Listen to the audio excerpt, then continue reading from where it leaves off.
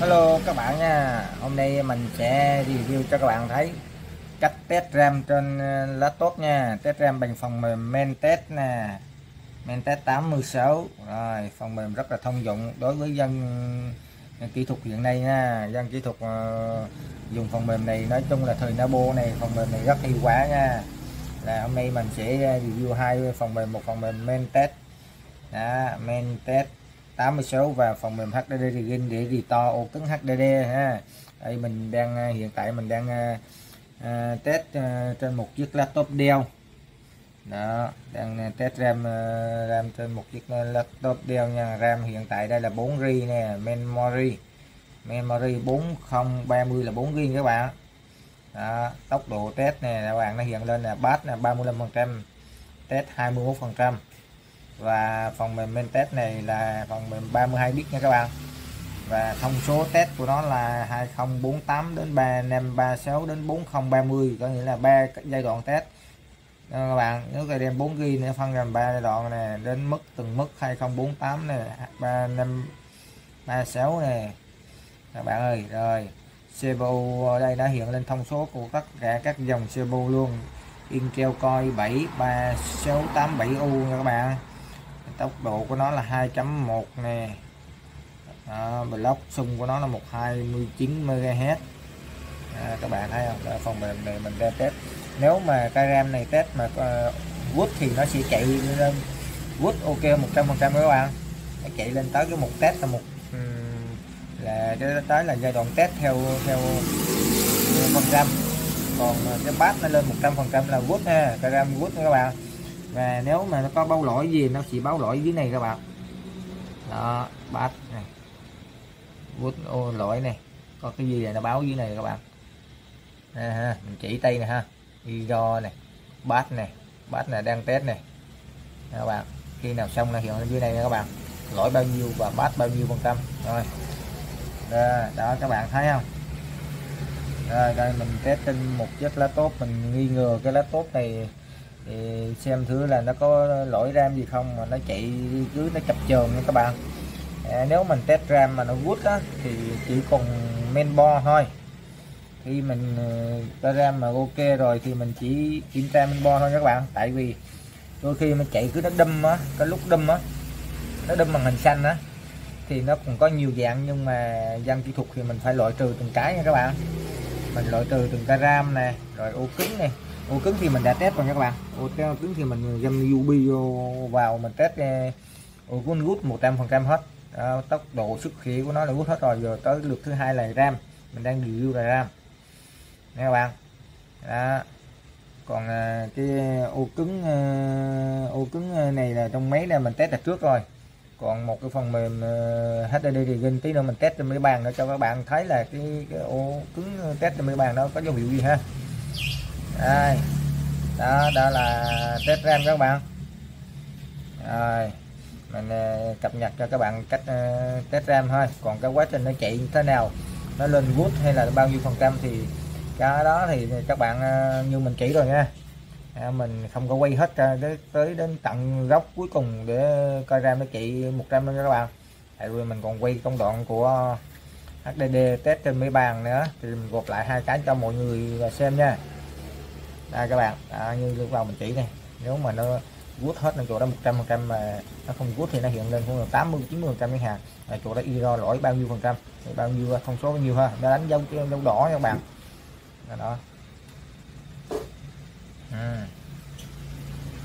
đó cái này này thông số bát này bát này nó chạy 44 phần trăm rồi các bạn. Nếu mà một cái ram mà chạy lên khoảng tầm 60 phần trăm là cái ram chạy được nha các bạn.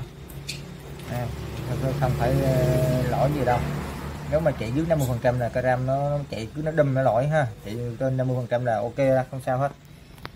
À, tại vì mình gặp trường hợp những trường hợp rồi những cái ram mà chạy cũng tầm um, 30 phần trăm là, là nó bị đánh dấu rõ ít ít là gắn vô máy này nó cứ đâm liên tục. Còn những cái ram mà 50 60 phần trăm thì vẫn chạy bình thường không có đâm không có tắt máy gì hết nha các bạn. Không có reset hết. Còn đây đây mình nghi là là mấy cái nó chạy có lúc đưa đó các bạn rồi màn hình có lúc lên xanh á. Mà trong khi mình cài lại win cho họ rồi, nhưng mà nó vẫn cứ đâm lên xanh. Thì mình loại trừ cái ô cứng thì wood rồi. Các bạn, ô cứng thì cái ô cứng đây mình test trước này. Ô cứng ờ, SSD trên máy này mình test trước rồi này. Rồi, mình tiếp tục mình test cái RAM. Còn thưa quá mà nếu mà cái RAM nó good nữa thì chỉ còn cái men thôi nha các bạn. Đây hôm nay là mình ờ, chuyên nhiệm vụ chủ yếu là mình quay cái phần mềm men test 86 cho các bạn thấy ha phần mềm này rất thông dụng dành cho những ờ, các bạn nào mà mới ờ, đam mê hoặc là để để là kỹ thuật thì đều dùng cái này để test rất hiệu quả các bạn. À, test dù nó chạy hơi hơi phần trăm hơi lâu xíu nó tùy theo ờ, tốc độ của cái ram các bạn. Cái ram càng lớn nó chạy càng lâu các bạn. À. rồi như vậy là mình review test men dùng phần mềm test ram dùng phần mềm men test nha các bạn. Rồi, quá trình ờ, nên test này, test nó hoàn thành thì nó chạy tới đâu thì mình ờ, cứ để cho nó chạy. Còn mình view tới đâu thì mình hướng dẫn cho các bạn rồi ha. Rồi, xin chào các bạn. Chúc các bạn ờ, xem video vui vẻ và các bạn thấy hay, hữu ích nhớ ủng hộ cho mình một lượt view và một lượt subscribe. Và ủng hộ kênh để mình có động lực ra những video hay hơn cho các bạn nha.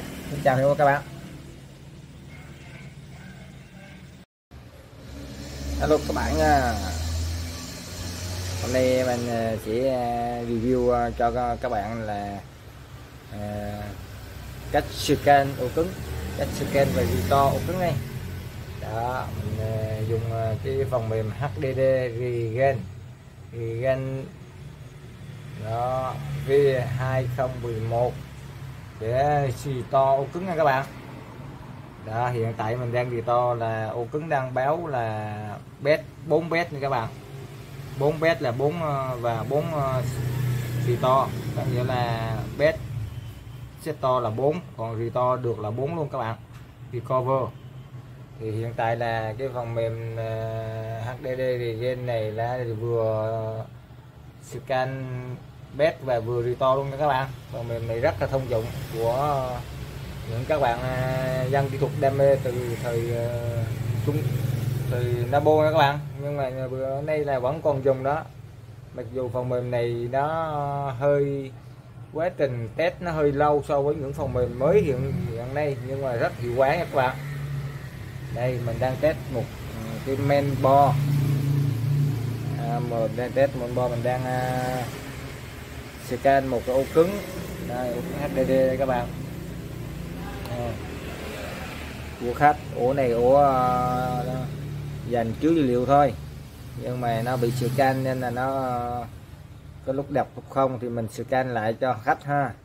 Nhưng đúng thực chất là mấy ô dòng này là cũng ít uh, sử dụng rồi. Tại vì đây người ta sử dụng dòng SSD à, ổ cứng uh, thì rắn uh, rất là nhiều. Còn đây là sợi lỏng ổ cứng chạy cơ. Uh, khách đi tàu thì nên mình uh, tháo rồi ra mình vệ sinh cho khách luôn vệ sinh ờ, vừa vệ sinh xong cặp màn hình là với men là men lên ok chạy ok rồi. Bây giờ nhiệm vụ của mình là chỉ uh, scan ô cứng nữa là chạy là ok luôn các bạn. Đây. À, đây scan.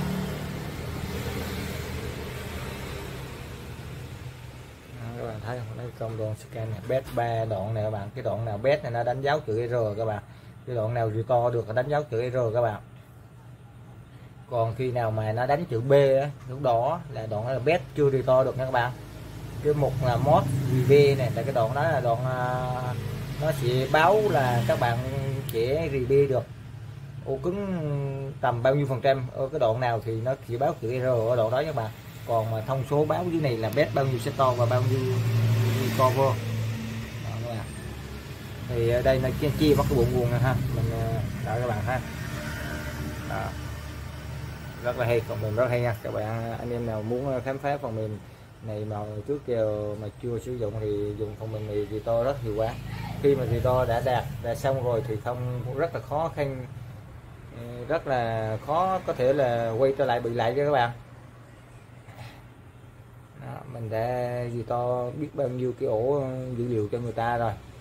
Và những cái ổ camera mà bị không nhận ờ, trên đầu ghi á mình cũng đi to cái bằng phần mềm này cũng rất là hiệu quả luôn các bạn. Rất là được luôn đó.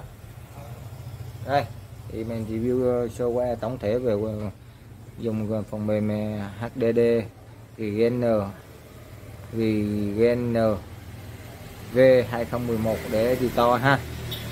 Rồi các bạn nào muốn đi to thì các bạn dùng phần mềm HDD VN uh, book trực tiếp bằng mini bút DLC.